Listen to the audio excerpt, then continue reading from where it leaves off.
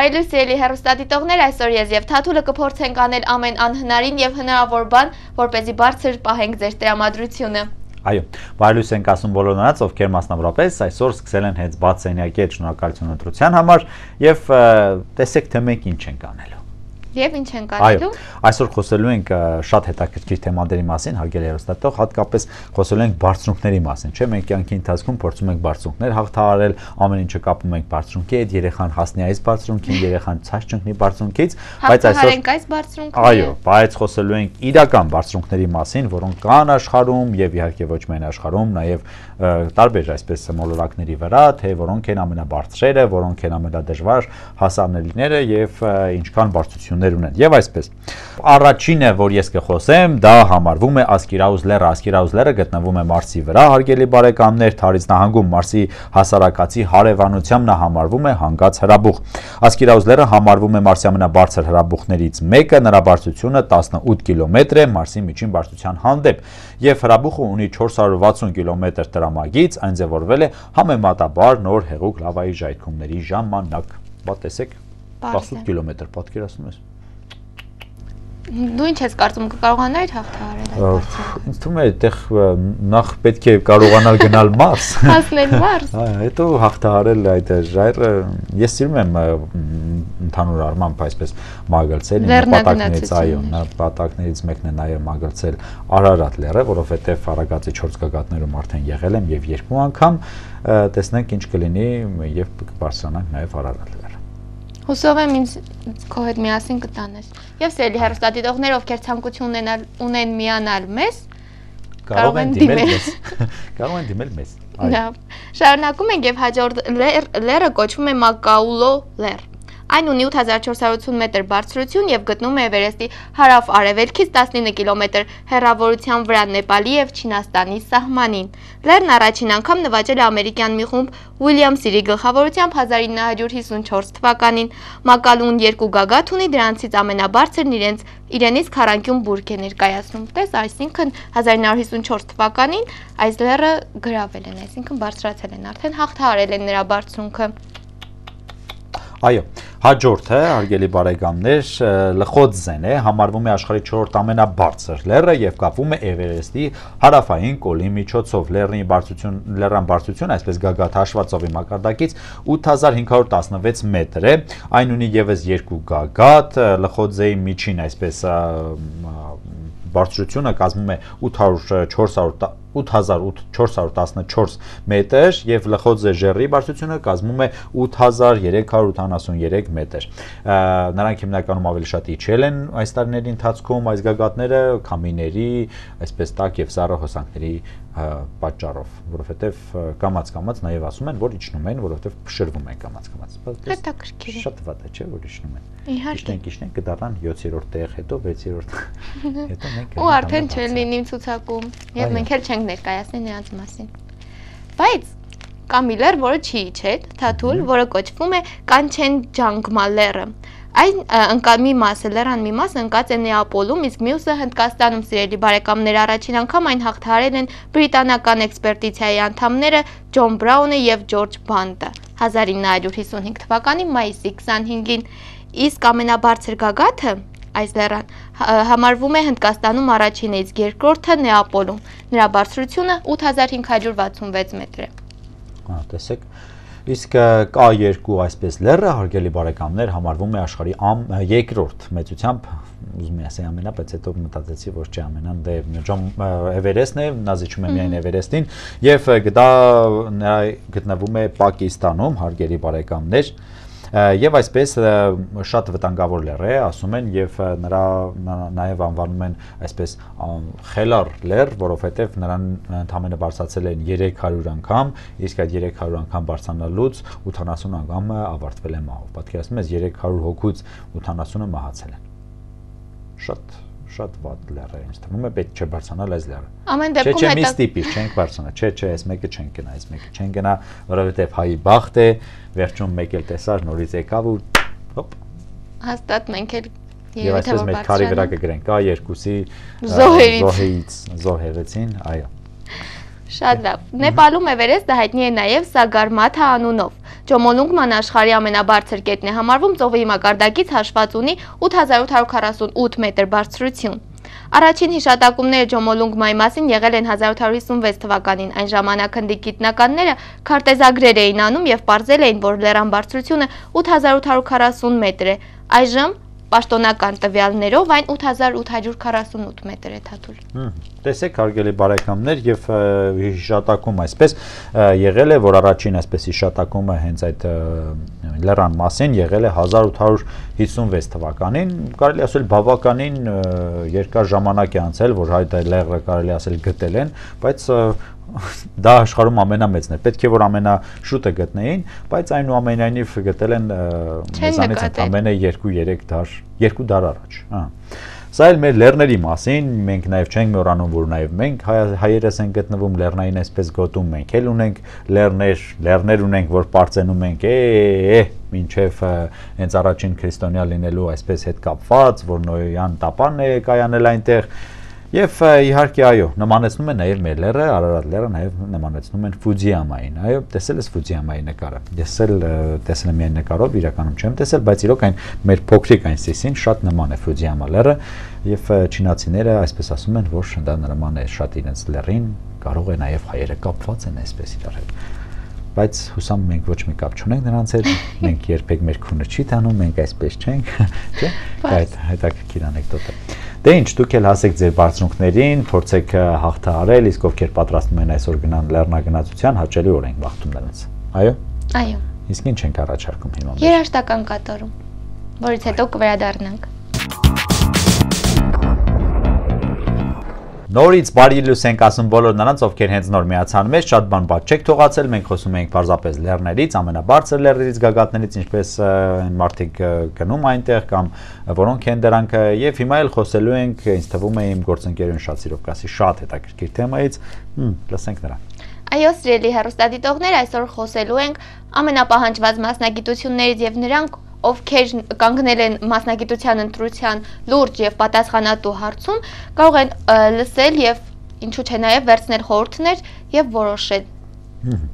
Եվ ամենաառաջիններից մեկը արգելի բարեկամներ, ըստ սոցիոլոգների, ովքեր ուսումնասիրություն են կատարում նաև ապագայի համար, թե ինչեր են սպասվելու մեզ, ինչ աշխատանքների պակաս է լինելու, նաև ասում են, որ հավանաբար շատերը կզարմանան այդ փաստին, բայց ցուցակում գլխավորում է ինժեների մասնագիտությունը։ Այդ ինժեների մասնագիտությունը տարբեր ոլորտներում մտածում են, որ 2000 այսպես 20 թվականին դա կլինի ամենասպասված, ամենապահանջված մասնագիտություններից մեկը, այնպես որ այն մարդիկ, ովքեր մտածում են, որ ինչ ապագա ունենք, ախր մենք ննննն ընդամենը մի 3-4 տարուց հետո ինժեներների լիքը պակաս է լինելու այնպես որ կարող եք նաև ձեր ուսումը այսպես գնալ դեպի ինժեներներ ինժեներներ իհարկե բարես բուն իմաստով դա կապված կլինի չգիտեմ տեխնիկայի հետ կլինի ինժեներական կառույցներ պատրաստելու հետ շինարարության մեջ այնպես որ դիմում ենք ինժեներական այսպես մասնագիտությանը որպեսզի հետո աշխատատեղի խնդիր չունենանք շատ լավ Իսկ հետազոտությունը ցույց է տվել նաև, որ ամենապահանջված մասնագիտությունների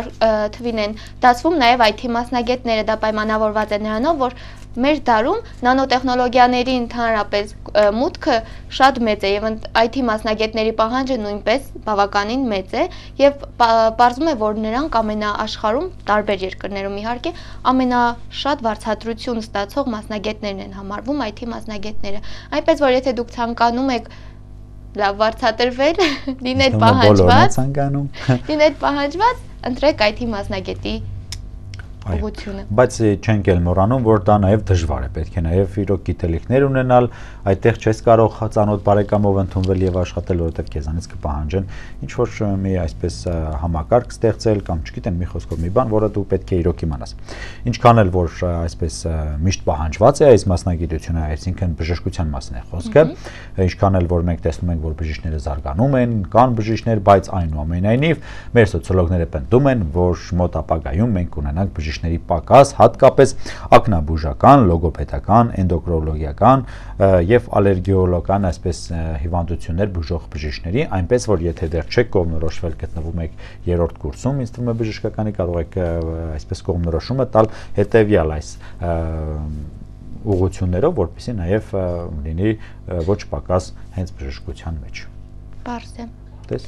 Իսկ գիտես, որ էկոլոգների պակասը նույնպես կա։ Հենց հիմա էլ կա էկոլոգների պակաս։ Հենց հիմա կա էկոլոգների պակաս, որ լավ լինի էկոլոգների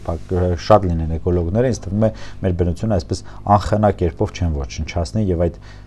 մի խոսքով չխոսեմ։ հա։ Լավ, սիրելի բարեկամներ, ողջում է, որ իսկապես էկոլոգների պակաս ժամանակի ընթացքում շատ են, բայց եւ այնպես թաթուր պետք է նայենք մեր այսօրվա Հայաստանի վիճակը եւ չգնահատել ուղակի անհնար է մեր բարեխիղճ էկոլոգների աշխատանքը։ Մենք մենք գնահատում ենք ձեր աշխատանքը եւ շնորհակալություն ենք հայտնում այն ամենի համար, ինչը որ անում եք մեր Հայաստանի բնությունը ինչ որ չափով գեղեցկացնելու համար պահպանելու համար, այո, պահպանելու համար եւ նաեւ չենք ոչնչացնում ոչ միայն բնությունը, նաեւ կենթանիներին, հատկապես այդ բիզոերյան մեր այծերին չենք ոչնչացնում, չենք խփում, չենք ուտում, իհարկե եւ մարքետոլոգները հարգելի բարեկամներ ասում են համաշխարհային այսպես շուկան զարգանալու հետ մեկտեղ, ինչքան էլ որ մարքետոլոգները շատ են, բայց սոցիոլոգները պնդում են, որ շատ սուր պակաս է լինելու 2020 թվականին հենց մարքետոլոգների այսպես կապված նրանց աշխատանքի հետ, որովհետեւ նաեւ շուկան մեծ թափով է այսպես մեծանում, իսկ մեծ թափով մեծանալու համար էլ նաեւ կպահանջվի մեծ քանակով մարքետոլոգներ, այնպես որ նաեւ դիմում ենք այս մասնագիտությանը։ Պարզվում է, որ այսօր ժամանակի ընթացքում գրագետ եւ իսկապես գործից հասկացող հոգեբանների պակաս նույնպես զգացվում է։ Եվ եթե դուք ցանկանում եք ունենալ շատ պահանջված մասնագիտություն եւ աշխատանք իհարկե, ընտրեք հոգեբանի մասնագիտությունը եւ փոքրինչ կարողացեք ինչ որ դեր դեր ունենալ ուրիշների կյանքում իհարկե։ Եվ իհարկե անպայման, քանի որ բոլոր այսպես զարգացումները էլեկտրական այսպես էվոլյուցիայի մեջ բոլորը գնում են դեպի փոքրացման, այո, եթե մենք հիշենք այն փոքր ժամանակ մեր այսպես երկար այսպես ինչ որ բան ենք անում հեռախոսի վրայից, որպեսզի կարողանանք զանգեն կամ այն ժամանակվա ժամանակակից հեռախոսը այսպես այսքան այս մոտավորապես այս չափին էր կշռում էր մոտավորապես 1 կիլոգրամ 200 գրամ, իսկ հիմա մենք տեսնում ենք, որ այդ նույն բջջային հեռախոսները, նույն այդ չիպերը բոլորը գնում են դեպի նանոացման, նանոտեխնոլոգիաների մասին է խոսքը եւ ինչքան էլ որ մենք զարգանանք այս մասնագիտությունը, այնքան էլ կմնա պահանջված, այնպես որ նաեւ մոտապագայում կլինի նաեւ այդ մասնագետների պակասը, որովհետեւ ամեն ինչ գնում է դեպի փոքրացման, այսպես աչքիդ մեջ չգիտեմ ինչ են դնում, դու չգիտեմ ինչ ես տեսնում, ակնոց ես դնում, ակնոցի վրա երևում է բոլոր այսպես հերավորությունները, չափման, չգիտեմ, չափորոշիչները։ Մի անգամից հիշեցի մի հատ անեկդոտ կա այդպես չինացիների հանդեպ, ասում են մեկ չինացի գալիս է ձերքը այսպես հային ասում է Կարող ես ասես լաս բրիս մեծ ինչ կա մտածում եմ ասում եմ դե դուք չինացիները ամեն ինչ սարքում եք ծորենի վրա չգիտեմ ինչ որ նկարներ եք նկարում մաքսիմում հերոստացույց եւ չինացին ասում է քանի հատ քանի հատ այդքան շատ է պատրաստ այնպես որ կարող եմ փոքրիկ հերոստացություններ կամ պարզապես հենց սանես այստեղ հերոստացույց տնկ տնկ նայեցիր ջնկ գնաց կորավ այո Զարգանում ենք իհարկե։ Զարգանում ենք, զարգանում ենք, այո։ Եվ Թաթուլ մեր այս նշած թվարկած մասնագիտություններն իր հետ բերում է, իրենց հետ բերում են իհարկե PR մասնագետի կարիք։ Ահա։ Եվ այսօր PR մասնագետի պահանջարկը առավել շատ մեծ է։ Այո։ Այնպես որ եթե ճիշտ PR-ը չէ նաև։ Իհարկե ճիշտ PR ամենակարևորն է եւ ես երելի բարեկամներ, եթե ցանկանում եք դառնալ հոգեբան, էկոլոգ եւ այլն, ապա պետք է նաև ունենաք լավ PR մասնագետ։ Այո։ Հատկապես այսպես մեդիա ոլորտում PR-ը ամենակարևորներից մեկն է եւ առհասարակ, եթե ինչ որ մի բան, մի արտադրանք կա, ապա այդտեղ պետք է նաեւ լինի PR, որպեսզի նաեւ կարողանաք դուրս գալ միջազգային շուկա, լավ ձևով ներկայացնեն, եթե վաճառքի է լավ վաճառվի, եթե չվաճառքի է լավ չվաճառվի, այնպես որ PR մասնագիտությունը ամենուրեք է լինելու։ Ընտրում ենք նաեւ PR մենեջերի, PR-անողի այսպես մասնագիտություն։ Շատ լավ, սիրելի հեռուստադիտողներ, շարժում ենք առաջ եւ այս պահին մեր սիրելի գործընկերանին կներկայացնի ամենանորաոճ եւ ամենանորաձև գաղտնիքները։ Այո, հատկապես աղջիկների համար սա կլինի շատ հետաքրքիր։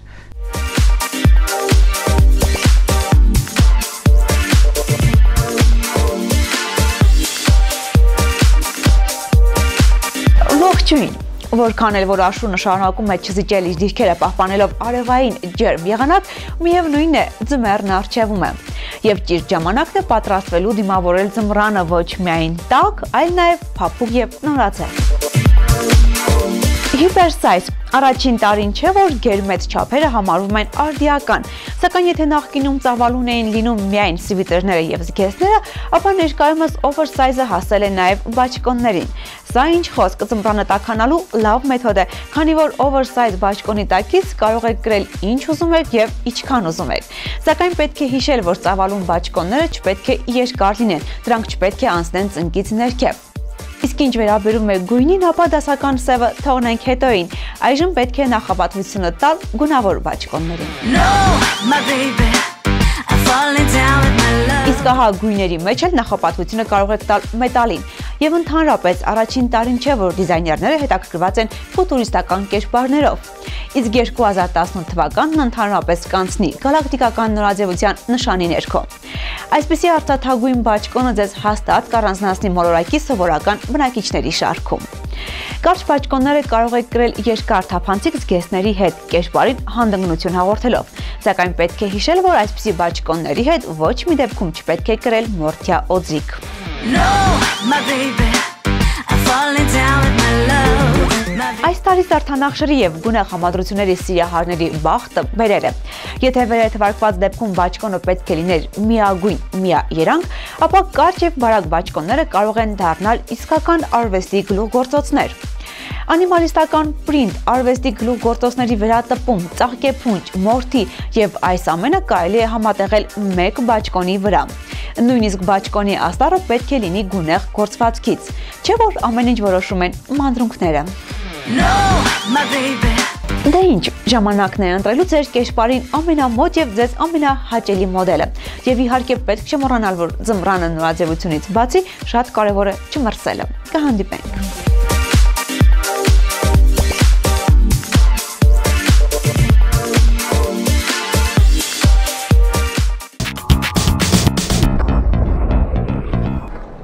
Մենք վերադարձանք սիրելի հերոստատիտողներ եւ շարունակում ենք Բացենյակի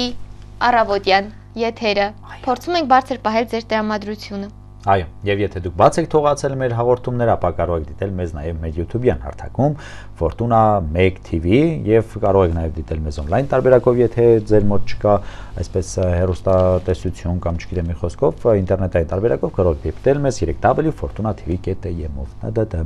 Եվ այսօր սիրելի հեռուստադիտողներ, մեր բաժնում խոսելու ենք ամենախելացի կենթանիներից եւ թռչուններից եւ նրանք ովքեր սիրում են կենթանական աշխարհ, թող հարմար տեղավորվեն էկրաններից այն կողմ։ Այո։ Եվ այսպես, հայտնի է, որ որոշ կենթանիներ եւ թռչուններ ավելի խելացի են, նրանք կարողանում են ընկերանալ, սովորել նույնիսկ իրենց սխալներից եւ նույնիսկ փոխհարաբերությունների մեջ մտնել մարդկանց հետ։ Առաջինը, որին որ պետք է անդրադառնանք, ծովայռույցներն են։ Հետազոտությունները ցույց են տվել, որ ծովայռույցները կարողանում են տրամաբանել։ Հələ դրանց տես։ Իսկ գտեր, որ մրջյունները նաև ստեղծում են այսպես գաղութներ։ Մրջյունները փաստորեն շատ խելացի են։ Այն ամենը, ինչ որ նրանք անում են, անում են այսպես օրենքներից ելնելով, այսպես կաստանայի բաժանումներ անելով, գործի բաժանումների մասին է խոսքը։ Արգելի բարեկամներ, նրանք կարողանում են նույնիսկ բույսերը եւ ուրիշ ավելի թույլ կենթաներին աշխատեցնել հենց իրենց նպատակների համար։ Դու այդքան մի գովա մրջյուններին, որովհետև ակրավները ոչ պակաս խելացի են, նրանք երբ տեսնում են, որ ընկույզը չեն կարողանում կտուցով ջարդել, բարձրանում են վեր, թռնում են ավելի բարձր եւ այնտեղից ընկույզը գցում են քարի վրա տես ագրավներն են հրացի, բայց նաև նրանք սիրում են բան կրակը ծուխի հոտն սիրում, այսպես սիգարետի մնացորդները վառված կարող են տանել գցել այսպես այնպիսի վայրերում, որտեղ նաև լինի մեծ հրդեհ։ Տես դրանք նաև Այ Իսկ ջրասամույրները, հարգելի բարեկամներ, ջրասամույրները այսպես ցուցաբերում են կայուն սոցիալական կապեր եւ ինտելեկտի բարձր մակարդակներ։ Կարող են նաեւ պատկերացնում եք այսպես ինտելեկտուալ շփում կազմակերպել միմյանց հետ, կարող են օգտագործել առարկաները որպես ուտելիքի ուտելիք ճարելու գործիքներ, եթե ինչ-որ մի բան օրինակ այսպես ինչ-որ միտեղ թաքնված է, ուրիշ առարկայով կարող են այսպես փորփրել, հանել եւ նրանք նաեւ ջրի այսպես սանիտարների մեծ դեր են կատարում, բա Իսկ ութոտնուկները Պարզվում է, որ անողնաշարավորների մեջ ամենախելացիներն են համարվում, նրանք իրենց գիշատիչներից պաշտպանվելու ստրատեգիաներ են մտածում եւ կարողանում են պաշտպանվել, նույնիսկ խաղել են, խաղեր են մտածում եւ խաղում են միասին։ Սպարապ ժամանակ երևի նարդի են այսպես գցում 8 ոտով այսպես կամ էլ նրանց նարդին 8 զարանի այսպես Իսկ հոյադելֆիներ արգելի բարեկամներ շատ հետաքրքիր են այս կենթանիները, որովհետև ունեն բավականին կայուն սոցիալական այսպես իրավիճակ։ Նրանք նույնիսկ կարողանում են մեկը մյուսին ցավակցել, եթե վատ դեպք է տեղի ունեցում։ Պատկերացնում եք, կենթանին զգում է եւ գնում է ցավակցում է։ Եվ հոյադելֆիները ուտելիք հայտարարներից նրանք ընդունակ են ամենախորաման քննարկներին կարող են այսպես իրենց ախոյանին, այսպես հետաքրքիր այսպես ձևով նրան բռնեցնել ինչ որ միտեղ եւ ուտել։ Տես հնարքների են դիմում նրանք։ Շատ խելացի են։ Շատ։ Փղերը նույնպես շատ խելացի են, Թաթուլ։ Հա, փղերի մասին դե բոլորս գիտենք, որ նրանք խելացի են, տես։ Այո։ Ինչ են անում նրանք, որ Նրանք նույնիսկ վարժեցվում են, կարողանում են լավ փոխհարաբերությունների մեջ մտնել մարդկանց հետ եւ ունեն նաեւ հիշողություն, կարող են տարիների ինչ որ բաներ հիշել։ Այո, Նաև այս վերջերս համացանցում կա, չէ, այդպեսի մի այսպես տեսահոլովակ, որ փիղը այսպես նկարում է մեկ ուրիշ փիղի, նման մեկ ուրիշ փիղին, այնպես այն մեկը այսպես դիրքավորվել է, իսկ նա նկարում է։ Բայց այնուամենայնիվ կենթանիների մեջ ամենախելացին համարվում են կապիկները։ Կապիկները հարգելի բարեկամներ, հարգելի բարեկամներ, կենթանիների աշխարհի ամենախելացի կերպարներն են եւ նրանց նույնիսկ դե գիտենք, որ նաև էվոլյուցիայի Դարվինի տեսության համաձայն համարվում են մարդկանց նախնիները, դե դա կենսաբաններին ինձ կավլի հանդիպեցի նրանք, ովքեր չեն հավատում դրան եւ նրանք իրենց խմբերի ներսում վարում են շատ սոցիալական այսպես, շատ սոցիալականացված այսպես կյանք, նրանք կարողանում են հասկանալ մեկը մյուսին, ստեղծել են իրենց համար ժեստեր, որոնցով կարող են կապ հաստատել միմյանց հետ եւ իհարկե նաեւ գործիքներ պատրաստել եւ դրանցով իրենց կյանքը ել ավելի հարմարավետացնել, օրինակ ինչ որ անանաս բացելու համար, կլպելու համար կամ նրանք ոչ միայն ձեռքերով են, այլ նաեւ կարող են ստեղծել բարձ շատ բարձ գործիքներ եւ օգտվել դրանցից փաստորեն լավ ուսումնասիրել ես կապիկները։ Շատ, շատ, այսպես միշտ նայում կենթանական աշխարհնայելուց կապիկներին ամենաուշադրությունն եմ դարձնում, որովհետև շատ խելացի են եւ հետաքրքիր այսպես խմբային այսպես իրենց այդ գաղափարը, թիմային աշխատանքը շատ շատ հետաքրքիր է։ Ինձ թվում է թիմով աշխատելու ժամանակ նրանք դրանից է որ նրանք այդքան շատ են։ Իսկ եթե թիմային չաշխատեին, այսպես թիմով չլինեին, ջունգլիներում այո, նրանք քիչ կլինեին, նրանց շատ եւ ցավում են մեկը մյուսով, պատկերացնում ես, հոգ են տանում, շատ հոգատար կենթանիներ են նաեւ, տես։ Դե սիրելի բարեկամներ, լսեցինք Թաթուլի տեսությունը, այս պահին կարելի է որ լսենք երաշտական կատարում։ Բարև սիրելի հերոստատիտողներ, Բացենյակը շարունակում է իր եթերը եւ այսօր հյուրասրահում մենք հյուրընկալել ենք Ֆորտունա հերոստանգերության լրատվական բաժնի ղեկավար 4 կյանք գրքի հեղինակ Զարքիս Գոքորյանին։ Բարև լույս։ Ողջույն ձեզ, բարի լույս, սիրելի գործընկերներ ջան։ Այո, մենք շատ ուրախ ենք, որ մեր գործընկերն է հենց մեր եթերում, հարգելի բարեկամներ, բայց այս անգամ իհարկե չենք խոսելու նրա լրատվական ունակությունների մասին, ինչպես են ռեպորտաժներ սարքում կամ ինչպես եղավ սերը դեպի լրագրությունը, այլ խոսելու ենք մեկ այլ ուրիշ բացահայտման մասին, որը մենք արել ենք այս վերջերս ինչքան էլ որ մեր գործընկերը թաքուն էր պահում, բայց ինչպես գիտեք, բոլոր չար լեզուները ամենտեղ այսպես տարածում են նաև մեր գործընկերոջ այս տաղանդը եւս։ Եվ այսպես անդրադառնանք իմ չար լեզուն։ Այո, քո չար լեզուն,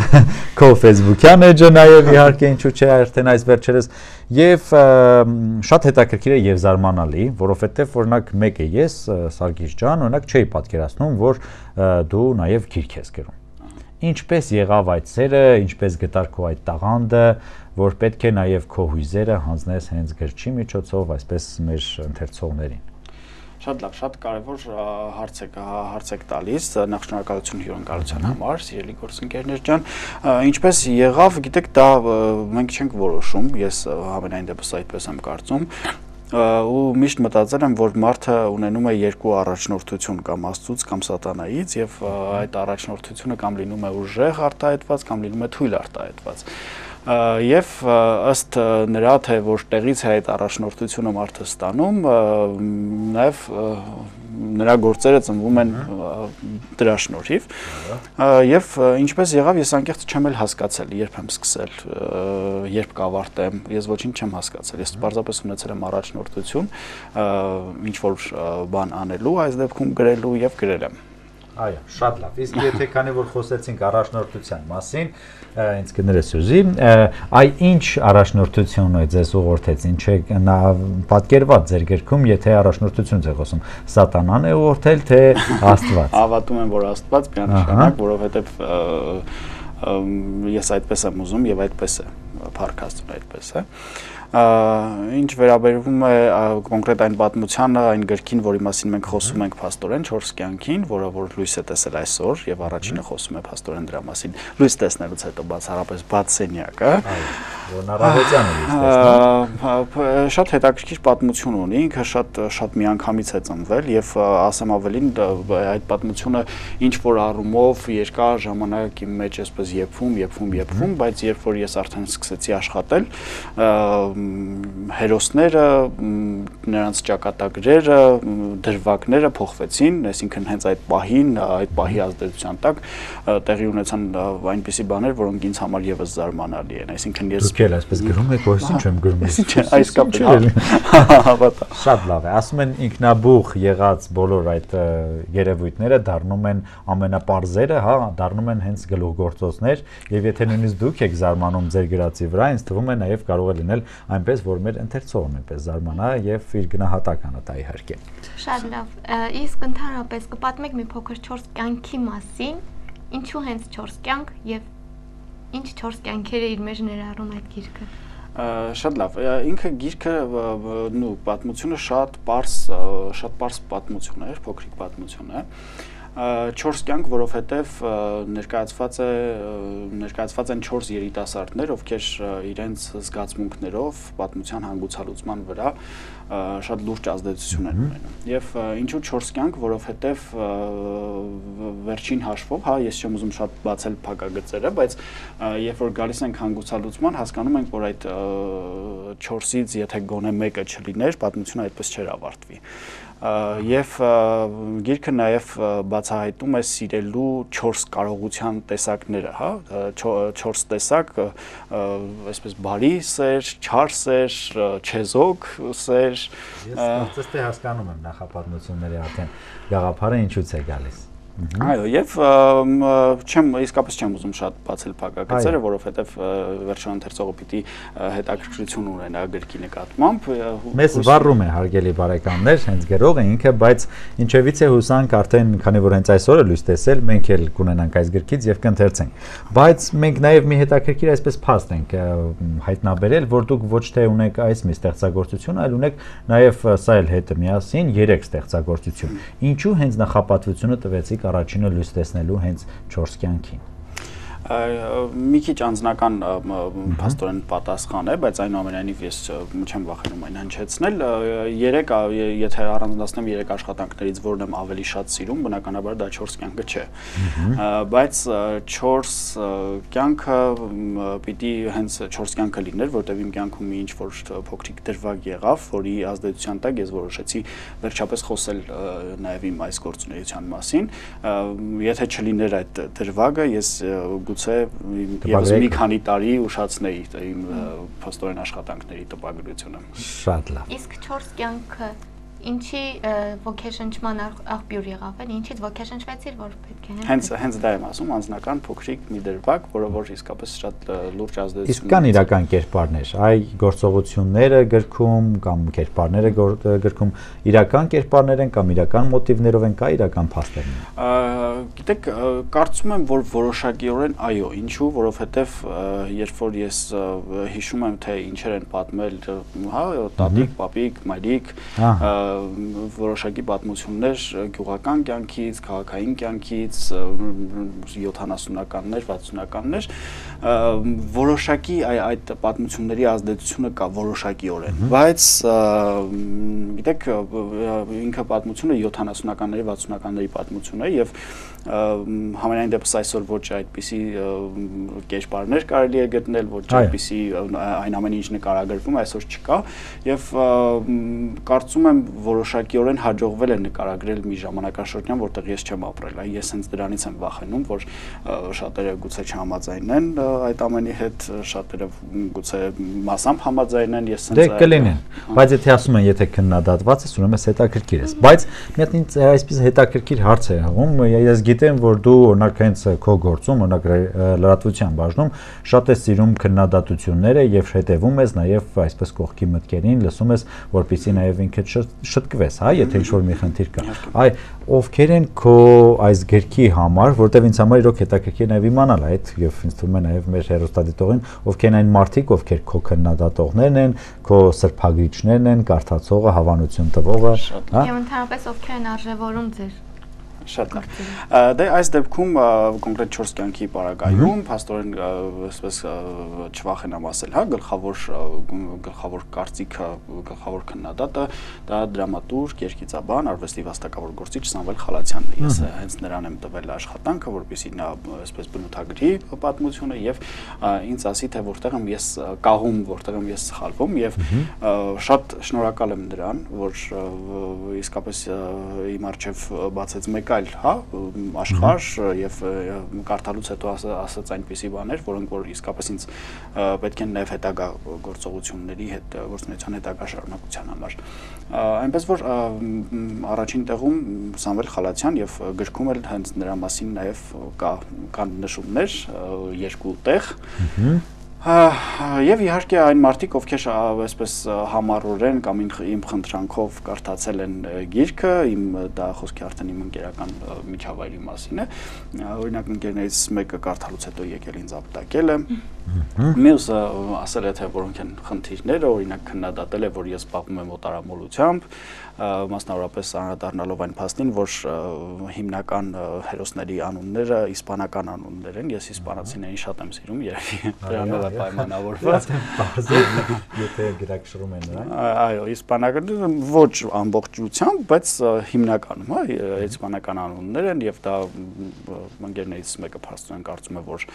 դա օտարամոլություն է եւ ինչ որ առումով իհարկե համաձայն եմ դրա հետ, բայց այդ փոփոխությունը ես չկարողացա իմ մեջ ուժ գտնել եւ այդ փոփոխությունը կատարել այնպես որ շատ են այն մարդիկ, ովքեր փաստորեն մինչև այս պահը, հա, ծանոթացել են, չէ, քիչ են խափեցի, բայց ինձ համար շատ արժեքավոր բաներ են ասել, իհարկե, որոնք եթե ոչ այս գործում, ապա մյուս գործերում իրենց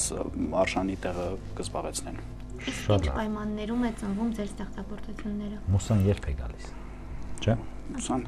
Մուսան գալիս է երբ որ ժամանակ ունեմ։ Այո, շատ ափսոս, բայց այդպես է։ Ես հարց ունեմ, քանի որ ժամանակակից գրականության մեջ հիմա շատ արդիական է նաև շարունակելի լինելը։ Այ արդյոք կա մի բաց, մի բան, որ դուք այսպես հատուկ բաց եք թողել կամ մտածում եք, որ կերպարները կամ հերոսները պետք է նաև շարունակվեն։ Շատ լավ, ես մի հետաքրքիր պատմություն պատմեմ 4 կյանքի էլի 4 կյանքի մասին։ Փաստորեն ես ընդամենը 2 օր առաջ գիշերը երազումս տեսել եմ հերոսներից մեկին, ով որ եկել էր ինձ այցելության, հենց հենց այն Ես հենց դերկա։ Հենց այնպեսին, ինչպեսին ես իրեն պատկերացնում եմ, ինքը այդպես եկել էր ու ինքը որոշակիորեն համաձայն չէր այն ամենի հետ, ինչ ինչ արել էի ես իր իր կերպարի հետ եւ որոշակի շտկումներ էր այսպես պահանջում։ Ես իհարկե իրեն բացատրում եմ, ասում եմ, գիտես, արդեն տպարանում է աշխատանք, ես այլոց ոչ եմ չեմ կարող անել եւ այլն եւ այլն։ Ու չի բացառվում, որովհետեւ նրա պահանջները որոշակիորեն պատահական չի լինում, չէ՞, ոչինչ աշխարհում եւ որոշակի արդարացի պահանջներ էին եւ չի բացառվում, այդ էլ ժամանակի արծը պիտի եփվի, պիտի այսպես զարգանան այդ գաղափարները չգիտեմ քիչ թե շատ ինձ մի քիչ թատրոնին մոտ համարող մարդ նաև ինձ հետաքրքիր է արդյոք կլինի նաև թատերական ներկայացման տեսքով դա հնարավոր է նաև վերածվել դա ին երազանքներից մեկն է ինչպեսի կարևոր հարց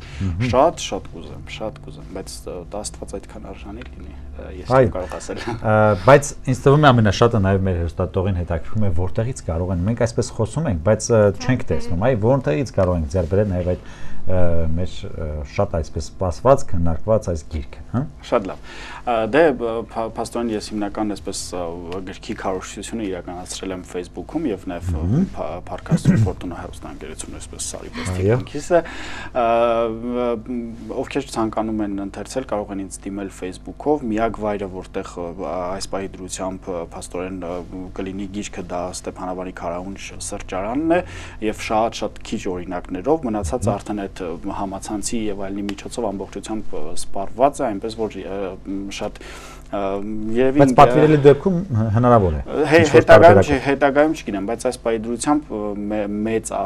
մեծ մասամբ փաստորեն արդեն ունեն իրենց տեր եւ մեկս մյուսի միջոցով այսպես փոխանցելով պիտի այնպես անենք որ Պաստորեն, եթե ուզում եք շուտ կապում եք Սարգիսի հետ Facebook-յան այսպես տարբերակով եւ ստանում եք ձեր հարցերի պատասխանները։ Եվ մի մի հարց եմ ուզում տալ, ինչ կտա ձեր գիրքը ձեր մեր հասարակությանը երիտասարդներին Սյուսի ջան, շատ շատ կա ես ինքս հա որպես երիտասարդ մարդ, որպես ընթերցող, ես միշտ երբ որ գիրքը վերցնում եմ ընթերցելու, ինձ համար խիստ կարևոր է թե ես ինչ կստանամ այդ գրքից, խիստ եւ երբ որ ես արդեն ինքս սկսեցի գրել, անընդհատ ինձ այդ հարցը տալիս եմ, վերջո ես ինչ եմ ուզում տալ, հա այս դեպքում 4 կյանքի դեպքում կարծես թե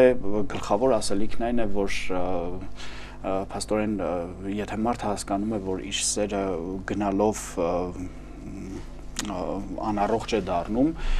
պետք է ուժ գտնի իր մեջ եւ դադարեցնի, որովհետեւ հակառակ դեպքում մենք ունենում ենք շատ վատ պատկերներ, շատ վատ հանգուցալուծումներ։ Հուսամ, որ այդ ասելիքը ընթերցողը ճիշտ կհասկանա։ Եվ նաև ողջ ընթացքում, հավատության ողջ ընթացքում խոսվում է այն մասին, որ մարդը իրականում ունենում է երկու սեր եւ մեկ աչքով արտասվում է մեկ սիրո համար, մյուսով արտասվում է մյուս սիրո համար։ Այնինչ ամբողջ խորությունը ես հավատում եմ, որ դե պարտավոր չեն, չէ՞, ոչ ոք հասկանալ մեկ մյուսին։ Ես հավատում եմ, որ գիրքը ամբողջ խորությամբ կընկալվի եւ հուսամ նաև որ կսիրվի։ Շատ լավ։ Փաստորեն գիրքը վեր գաղափարներից ամենակարևորի սիրո մասին։ Ամենագեղեցիկի մասին է նաև խոսում եւ մի հարց, որը ես պետք է անպայման տամ, այ մենք տեսել ենք նաև հանդիսատեսի հիմա հնարավորություն չունի տեսնելու, նաև գրքի վրա, կազմի վրա կա լատինատար դուկաս, այսպես անունը, ինչ է նշանակում այդ։ Դա իմ փոքրիկ կեղծանունն է։ Իսկ դուկասը դա հենց դուկաս դու կյանքում ես դրա հետ է կապված թե Հատուլ ինչու այդքան Լավ, հարգելի բարեկամներ, շատ չտանջենք մեր հյուրին, նաև իհարկե հյուր չի, Սարգիսը մեզ մոտ իր տանն է գտնվում հարգելի բարեկամներ, բայց մենք մաղթում ենք քեզ միայն ստեղծագործական նորանոր վերերքներ, հուսանք մի օր մենք էլ կարժանանանք այդ գիրքը կարդալուն, մի օր այո, հենց այսօր Եվ շնորհակալություն ենք հայտնում նաև մեր հրավերը չմերժելու, քո այս բազմազբաղ ժամանակից տրամադրելու եւ մեր բաց սենակիմ հյուրա կալվելու։ Շատ ապրեք եւ շնորհակալություն Ֆորտունա հերոստադիտող Ֆորտունա հերոստանգերության հերոստադիտողին մշտապես հավատարիմ լինելու համար։ Մենք ձեզ աշխարհի չափ սիրում ենք եւ բարի ու խաղաղ օր ենք մաղթում։ Ինչպես այսօր, այնպես էլ առհասարակ։ Միշտ շնորհակալություն։ Ձեզ շնորհակալություն, շնորհավորում ենք գրքի համար եւս մեկ անգամ եւ մաղթում ենք բեղուն գրիչ, ինչպես ասում են։ Այո։ Իսկ մենք հարգելի բարեկամներ շարժվենք առաջ, տեսնենք ինչ տեսանյութի առաջարկում մեր ռեժիսորը, որից հետո նորից կլինենք բացենյակի տաղավարում, մնացեք մեզ հետ։ Սիրելի բարեկամներ, նորից ողջունում ենք բոլոր նրանց, ովքեր ինձ նոր միացան մեզ, իսկ մենք այսօր հիմա արդեն այս բաժնում գտնվում ենք Տատիկի դեղատոմսում, առիթից օգտվում ենք եւ շնորհակալություն ենք հայտնում, ողջունում ենք եւ շնորհակալություն ենք հայտնում մեր տատիկներին այս հետաքրքիր բաղադրատոմսերը մեզ տրամադրելու համար, որովհետեւ ժողովրդական դեղամիջոցները միշտ էլ ամենալավն են եղել, չէ՞։ Այսինքն բնական, առանց քիմիական տարերի, առանց ամենայնի նրանք կարողանում են գտնել եւ ասել եւ մենք էլ օգտագործում։ Պետք է պարզապես շուտ ախտորոշել հիվանդությունը կամ գտնել եւ մի քիչ process-ն է երկար, այս քիմիականի պես չէ, այսպես խմում ես մենք համ ուրախանում ես, հա, բայց գիտենք որ արդյունքն էլ հո արդյունք է։ Շնորհակալություն տատիկներ ջան։ Շնորհակալություն տատիկներին եւ այսօր նրանք մեզ տրամադրել են վարունգի մասին մի քանի հետաքրքիր եւ օգտակար տեղեկություններ։ Վարունգն առօրյայում ամենից շատ կիրառվող բանջարեղենն է համարվում իր հյութալիության եւ օգտակարության շնորհիվ։ Բարձում է, որ վարունգը կարող է նաեւ փոխարինել կոֆեինին, հոգնածության եւ գեր ավելի հոգնածության ժամանակ սուրճի եւ ընդհանրապես տարատեսակ դեղամիջոցների փոխարեն կարող եք ուտել վարունգ եւ վիտամին B-ի պակասը լրացնել վարունգի միջոցով։ Պարզվում է, որ ապակին քրտնելուց պաշտպանելու համար կարող ենք սրբել վարունգով եւ այլևս չի լինի նման բան։ Կարող ենք նաև մարմնի վրայից վերացնել ցելյուլիտի վնասված հատված վարունգ քսելով եւ մերսելով։ Եվ կա նաև մի այսպիսի փաստ, որ վարունգը նաև հագեցնող է։ Եթե քաղցած եք, բայց դեռ ուտելու ժամանակը չէ, կարող եք մի քանի վարունգ ուտել եւ քաղցը իսպար վերանում է։ Սա նաև խորհուրդ է տրվում դիետա պաշտպանող, պահպանող աղջիկներին։ Այո, եւ նաեւ հիշենք, որ վարունգի մեջ ամենաշատը այսպես ջուրն է գտնվում, բանին է դասում, որ ամենաշատն է ջուր ջրի մակարդակով, եւ վարունգը բացի այդ, որ նաեւ ունի ռետկեն, նաեւ ունի օգտակար միջոցներ, այսպես կենցաղային պայմաններում եւ նաեւ հոգեբանական այսպես իրավիճակներով ասում են, որ վարունգն օգնում է նվազեցնել ճնշվածության մակարդակը։ Եթե դու ճնշված ես լինում, այսպես նեղված տանը նստած ես, կարող ես ուտել վարունգ, դա օգնում է, որպեսզի դու նաեւ ինչ որ ճնշվածությունը քո մեջ ինչ որ չափով դուրս գա։ Նաեւ շատ այսպես ինգալացիաների համար են օգտագործում, հա, ժողովրդական լեզվով ասած, դա նույն հանանյութերի այսպես ինգալացիան հանանյութերն են, պետք է նաև երացնել այսպես վարունգը եւ դրա այդ օդը գոլորշին շնչել, որը շատ լավ օգտագործում են այսպես թարախային հիվանդությունների ժամանակ, հատկապես դե գիտենք գրիպ, մրիպ, այս վերջին ժամանակաշրջաններում եւ այն կարելի է օգտագործել նաեւ եթե ինչ որ մի բան կեղտոտվել, օրինակ եթե ունեք տանը կացա հատկապես պողպատից, այդ վարունգի այդ կեղևներով կարող եք քսել եւ նա մաքրվի։ Ծորակներ այնպես որ ժանգոտում են կամ չեն բացվում գրային գոյացություններ են ավելանում, կարող եք նաեւ դրանով օգտել եւ իհարկե եթե ձեր երեխան օգտագործել է գրիչ եւ թանաքոտել է իր շորը վարունգի այսպես կլեպի այդ միջին մասով գցում ենք այդ թանակի թանակ եղած տեղում եւ այն մաքրվում է տեսեք վարունգ վարունգ միջև վերջ եւ տեսնենք թե այս պահին այլ ինչ օգտակար հատկություններ ունի վարունգը սիրող տեսանյութում Վարունգի հայրենիք համարվում է հյուսիսային Հնդկաստանը։ Վարունգների մեջ պարունակում է ազոտային եւ ոչ ազոտային միացություններ, կալիումական աղեր, կարոտին, վիտամիններ եւ ավելի քան 97% ջուր։ Հին հույները գտնում էին, որ վարունգն օժտված է ջերմություն իջեցնող հատկությամբ, իսկ սերմերն էլ ուժեղ միզամուղ են։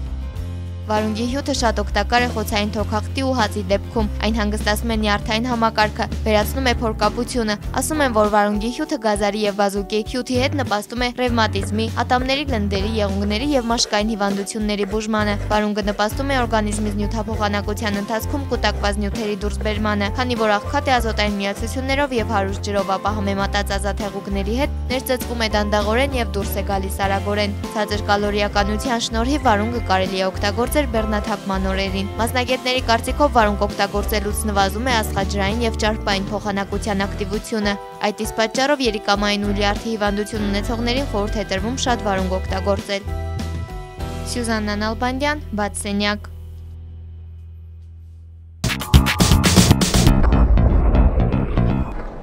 Բարի լույս սիրելի հեռուստադիտողներ, այսօր նոյեմբերի 16-ն է, տարվա 320-րդ տորը, եւ այս բաժնում ես եւ Թաթուլը պետք է ներկայացնենք, թե տարվա տարիների ընթացքում ինչ իրադարձություններ են կատարվել հենց նոյեմբերի 16-ին։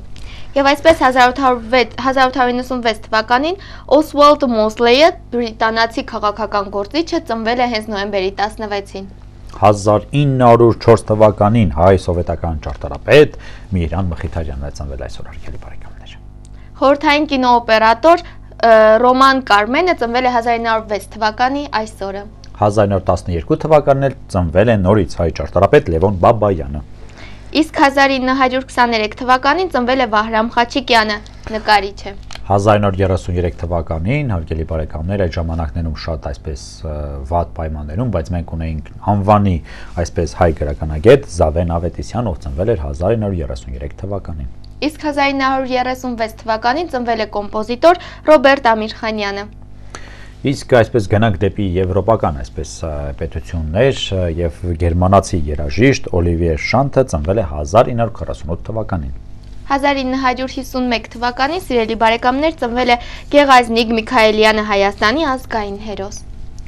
Բանաստեղծ եւ գրականագետ 1959 թվականին է ծնվել Արթուր Անդրանիկյանը։ 1961 թվականին ծնվել է հայ դիվանագետ Աշոտ Հովակիմյանը։ Իսկ այսօր արգելի բարեկամներ Արցախի պատերազմի մասնակիցներից մի քանիսն են ծնվել եւ 1963 թվականին ծնվել է Յուրայի Անտոնյանը, 1973 թվականին ծնվել է Հեղինե Բղդոյանը եւ 1967 թվականին ծնվել է Ռաֆ Երիկյանը, որին գիտեք նաեւ գործարար։ Լավ։ Իսկ ռուսերենագիր գրող եւ հոկեբան Գերասիմ Ավշարյանը ծնվել է 1972 թվականին։ Մաուրիսիա Օչմայն, ովքեր որ չեն ճանաչում, ասենք որ նա մեքսիկացի դերասան է, ծնվել է 1970 1977 թվականին հենց այս օրը։ Իսկ ամերիկացի բասկետբոլիստ Ամարին ծնվել է 1982 թվականին։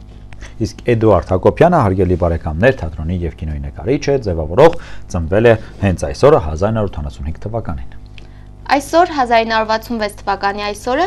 նաև ծնվել է Արցախի հերոս Ռոբերտ Աբաջյանը, հետմահու Արցախի հերոս։ Այո։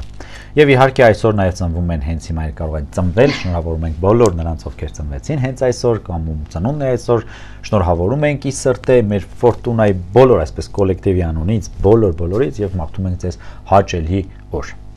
Եվ լիքը նվերներ առանց Շուշեղենի կան, չէ՞, այդպես խոսում եք, տանում են Շուշեղեն տղայի ծննդին։ Չի կարելի այդպեսի բան, չէ՞։ Տղայի ծննդին կարելի է տանել ուրիշ բան, բայց ոչ Շուշեղեն, Շուշեղեն մի տարեք։ Այսօր Թաթուլի ծնունդը չէ, բայց ելի հերոստատիտողներ Թաթուլն էլ ստացել է քաղցրավենիք։ Եթերից հետո ես անպայման նրա բաժինը կուտեմ հուսանք, որ այդպես չի լինի, բայց ինչևից է։ Շնորհակալություն ենք հայտնում ընտրության համար եւ այսօր մենք այսքան ենք պատրաստել ձեզ համար, հուսանք ինչ որ չափով կարողացանք դա մեր այսպես պարտքը կատարել եւ լավ ներկայանալ ձեզ։ Կշարունակենք նորից մեր եթերը իհարկե վաղը նորից 9:30-ին մոտենում ենք հերոստացույցի մոտ եւ միացնում եք բացենյակը եւ հետեւում եք բացենյակի ընթացքին։ Շնորհակալություն ընտրության համար։ Մնացեք բարով եւ հաճախ շփտացեք իհարկե։ Thank you